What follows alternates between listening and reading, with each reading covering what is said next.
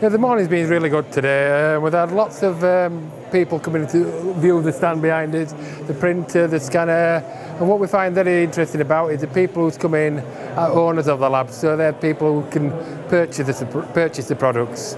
We're booked on for next year provisionally uh, because the response we've had from this year has been really good, so we, we see it as a future investment to attract more people.